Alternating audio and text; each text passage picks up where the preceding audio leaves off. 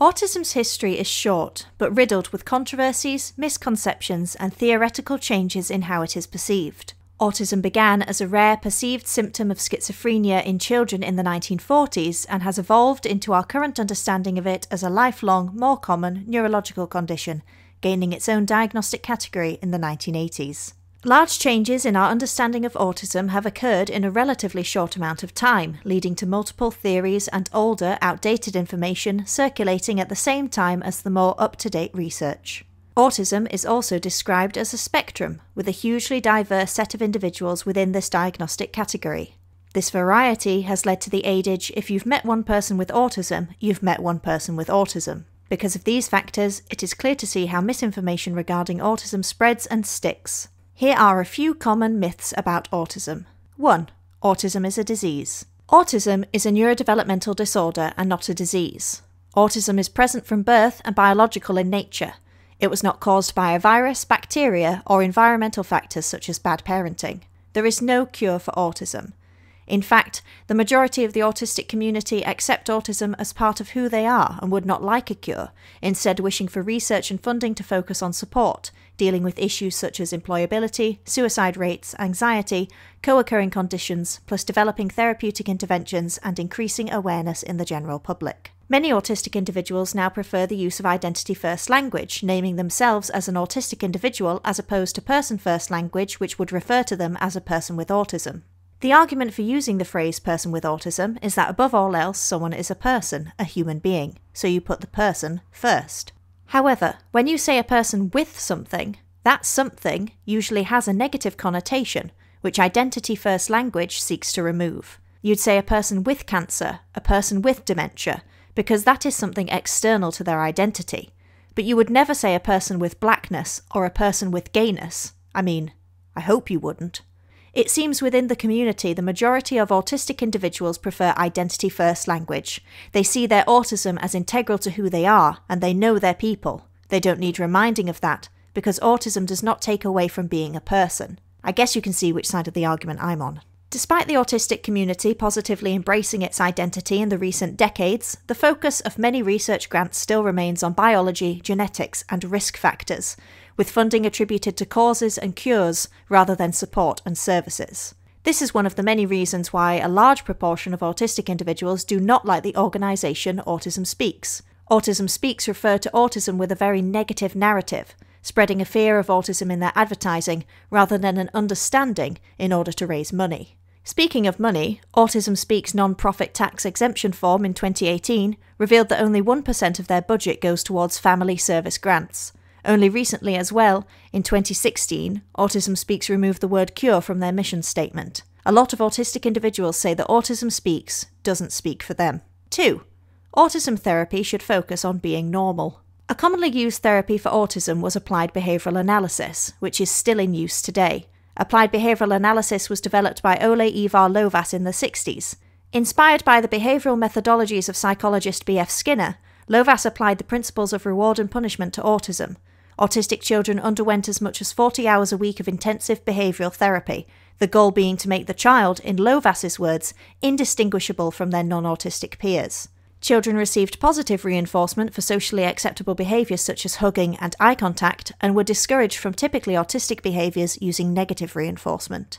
Lovaas's work was praised as a better alternative to institutionalization, and his 1973 research and other studies since then have demonstrated gains in emotional, intellectual, social, and educational skills for autistic children to varying levels of success. ABA is still used and recommended frequently, but remains a controversial topic for the following reasons. 1. It is argued that ABA practices have changed over the course of autism's history, but there are still places where inhumane practices are being used in the name of negative reinforcement to create behavioural change. In only March of this year, the FDA banned electrical stimulation devices from being used on autistic students at the Judge Rotenberg Center in Massachusetts. The establishment is currently appealing this ban. 2.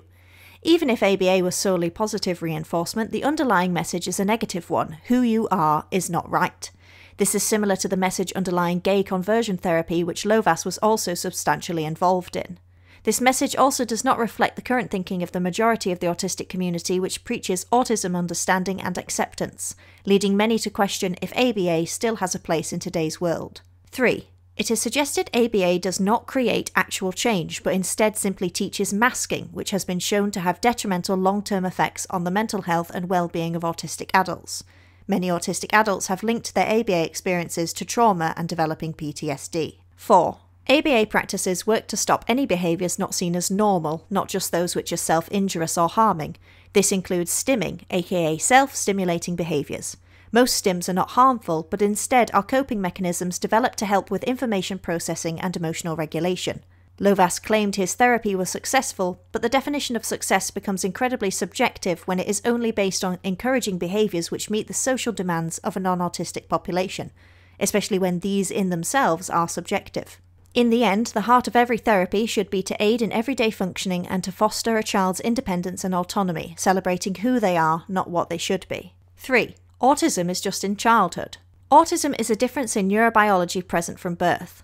Autistic traits are spotted around the 2 to 3 year old developmental mark, and characteristics may change in a person during key stages of development, such as puberty, but it is a lifelong condition. Autistic adults have previously been overlooked in research because of the myth that autism is only present in childhood. The majority of autistic adults have developed coping mechanisms in order to deal with the anxieties created by everyday life, one of which is masking, causing extreme mental health difficulties as they are unable to access the support they need. Regardless of how a person's autistic characteristics may present themselves, a person is always autistic. 4. Autism is male only. The ratio of autistic men to women has dramatically shifted over the course of autism's history. For a while, autism was seen as a male specific condition. Ratios of autistic men to autistic women have changed significantly over time, but whatever the numbers are, it's always been more men than women. Due to this, participants in research were autistic men, diagnostic criteria was based on autistic men, and diagnostic tools were designed to find autistic men. Autism theories, such as the extreme male brain theory developed by Professor Baron Cohen, suggesting autistic individuals have a more male, systemizing brain, add to this male focus bias, although this theory is not without critique. It also doesn't help that autistic characters in the media, such as Sheldon in The Big Bang Theory, Raymond Babbitt in Rain Man, Christopher in The Curious Incident of the Dog in the Nighttime, and many others, gives the general public a harmfully reduced, stereotypical idea of what autism looks like. Because of all this, professionals are more likely to consider autism as a diagnosis for men. It has been suggested boys and men may just have a higher prevalence of autism due to genetics and increased hormones such as testosterone. By contrast, the female protective effect theory suggests that women are somehow biologically shielded from autism and need more genetic mutations to display autistic traits. This by itself, though, cannot explain the male to female discrepancy. Women are frequently misdiagnosed or not diagnosed at all. It is suggested autistic women display different and less noticeable characteristics of autism in comparison to their male counterparts. These behaviours are also, due to societal pressures, hidden using a coping mechanism of masking, Masking is used to hide autistic behaviours in favour of more socially acceptable ones in order to meet perceived social demands and expectations. Socio-cultural factors such as gender-related expectations therefore influence the evaluation of symptom severity and diagnostic predictions. Women are frequently not seen as autistic enough to push themselves over the arguably higher autism threshold needed for diagnosis. Because of restricted media representation of what autism looks like, misconceptions around autism have remained, with the general public having a reduced impression of autistic individuals. A lack of diverse, appropriate autism representation could lead to the reinforcement of untrue, harmful stereotypes, such as that all autistic individuals, such as Raymond Babbitt in the film Rain Man, have a savant, special skill. In fact, under 30% of autistic individuals have special talents, and these are not necessarily mathematical in nature. Speaking of media representation, it is interesting to note a current discussion in the autistic community around the film Music, directed by the singer songwriter Sia, which is to be aired in 2021. In this film, a non autistic actor is portraying an autistic individual. Members of the autism community have expressed their disappointment in an autistic actor not being hired for the role, likening this to Eddie Redmayne playing a trans woman in the film The Danish Girl, in that one person from a different background cannot truly understand or represent another person's perspective as much as someone who is the same neurotype, race, or sexuality, for example. 5. Autism equals antisocial. Autistic individuals were once perceived as preferring to be isolated, but in the majority of cases this is not true. Although social situations and both friendship development and maintenance may be harder to understand for autistic individuals, they still want close connections with family and friends. These connections may just look different. 6. Autism is linked to the MMR vaccine. Dr. Andrew Wakefield, who is no longer a doctor, published a case series in the Lancet Journal in 1998 with his gastroenterology friends linking the measles, mumps, and rubella vaccine to a risk of developing autism. It was suggested the MMR vaccine led to intestinal inflammation, causing the translocation of a usually non permeable peptide to the brain through the bloodstream, potentially leading to behavioural regression and developmental disorders. But investigations such as those conducted by journalist Brian Deer and other researchers exposed Wakefield's fraudulent work. Here is an incomplete list of reasons this research was terrible. 1. Participants were gained through selective sampling. You can bias results if you get to pick your participants. 2. A lot of the data was parental observations. Participating parents were anti MMR campaigners. 3. Data was removed, unreported, changed, or falsified to suit the argument. 4. All the children were described as previously normal, despite five of them having documented pre existing developmental concerns. 5. The sample size was 12, which is far too small, reducing the power of the study and increasing the margin for error. 6. There wasn't a control group, so they had nothing to compare results to. 7. The idea was that the MMR vaccine caused inflammation, but they didn't find inflammation in 9 out of 12 of the participants. 8. The moving peptide was never identified. 9. Some practices which didn't gain ethical clearance were conducted anyway. And 10. Wakefield was working on his own measles vaccination to sell as a safe alternative to an MMR vaccine. A retraction was published by 10 of the 12 co authors in 2004, stating that there was no causal link established between the MMR vaccine and autism due to insufficient data. The paper was completely retracted from the Lancet in 2010, and Wakefield was removed from the medical register. Results have never been replicated. No research has ever shown the MMR vaccine is linked to autism. This chapter, taken from autism's history, shows the widespread consequences of bad research and fake news. Despite the link being completely debunked, we're still talking about it and seeing its repercussions to this day. Obviously, the anti vaccine movement would still probably exist without this study, and an increase in measles and reduction in vaccinations cannot be due to a single variable, but it has dangerously contributed falsities to the anti vaccine rhetoric and lends support to another incorrect belief about autism that 7. Autism was rare and now is common. Leo Kanner in the 1940s believed that his syndrome was incredibly rare and actively discouraged diagnosis, boasting that he turned away 9 out of the 10 children referred to him because they didn't meet the specific criteria he'd set out. Autism only gained a diagnostic category of its own in the 1980s, and later in that decade, Lorna Wing widened the scope of the autistic criteria with her concept of the autism spectrum. Since then, we have gained increased understanding of autism presentation in anyone not male, straight, and white. The numbers of autism diagnoses, therefore, have naturally risen to meet the true number of autistic people in the population. Diagnostic criteria is wider, and a diagnosis itself is more accessible for more people. Autism has always been around, but we are only now starting to acknowledge it. 8. Autism equals no empathy. Another stereotype perpetuated by the media is that of the autistic, cold, unemotional character who cannot understand what another person is feeling or experiencing. Take Sherlock, for example. Papers written by non-autistic researchers often describes autistic individuals in a negative way, as lacking something, missing qualities, unable, reinforcing the idea that the majority, the non-autistic people, were the norm, and that anything else is less than. Judy Singer changed this idea in the 1990s, introducing the concept of neurodiversity, in which individuals with a different neurobiology were not lacking, but simply different.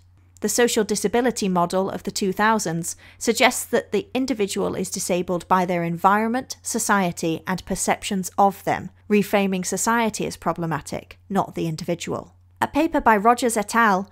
argues that there are two types of empathy Maybe autistic people's skills in cognitive empathy, the understanding of perspectives, isn't as sharp, but that doesn't mean that effective empathy, the ability to feel and share an emotional experience, to feel distress and compassion for others, is any different. Dr. Damian Milton went on to describe the double empathy problem, in which individuals from different backgrounds had different ways of expressing empathy. That empathy for different people simply looked different rather than not existing. It is only recently that research has acknowledged that empathy requires reciprocity and mutual understanding. 9. Autism equals learning difficulties. The diagnostic criteria for autism detail that autistic individuals have deficits in social communication and interaction, plus display repetitive and restricted patterns of behaviour. Under these categories, there is a variety of severities, with autistic individuals requiring different levels and types of support than others. Around 40% of autistic people have a learning disability, and up to 70% of autistic individuals have a co occurring condition, such as OCD, ADHD, or anxiety, which in turn affects the level of support needed. Some individuals often label autistic individuals without learning difficulties as high functioning, or having Asperger's syndrome. Asperger's syndrome was removed from the diagnostic manuals very recently, and high functioning has never been an official term used. A lot of the members of the autistic community do not like the term high functioning. The idea that someone is high functioning diminishes the difficulties that they may be facing, and calling someone low functioning, as the natural opposite of this, diminishes their strengths and successes. Not only that, these terms also suggest that autism is a scale rather than a spectrum. Autism characteristics are not linear in nature. There's so much differentiation between autistic people and within autistic people depending on their experiences, depending on their day.